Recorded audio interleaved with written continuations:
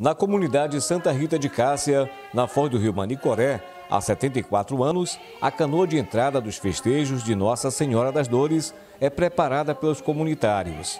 O badalar do sino anuncia que é chegada a hora da partida, depois da permanência da imagem da santa por alguns dias na comunidade.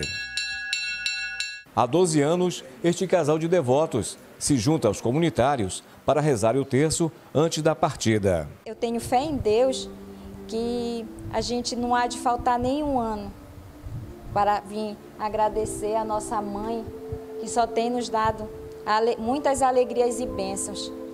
De acordo com os religiosos, os 153 anos da Igreja Católica em Manicoré é momento de agradecer a Deus pelo trabalho de evangelização, mas também rever conceitos da vida para o futuro. Como diz o Papa Francisco, novos caminhos vão se abrindo com novas pessoas que estamos aqui, mas virá outras pessoas que vão continuar essa missão de Jesus e de Maria aqui na nossa paróquia de Nossa Senhora das Dores e no nosso município de Manicoré. Restritos pela pandemia, a imagem da santa foi conduzida pela diretoria da Capela Santa Rita de Cássia e representantes da comunidade.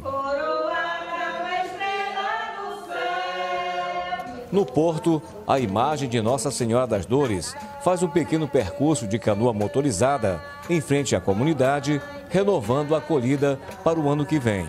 Em seguida, o andor com a imagem é levada na UBS fluvial de mesmo nome da santa, até a cidade.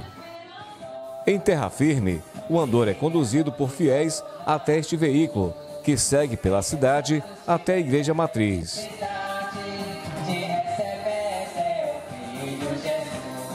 A celebração da missa campal marca o início da novena de Nossa Senhora das Dores.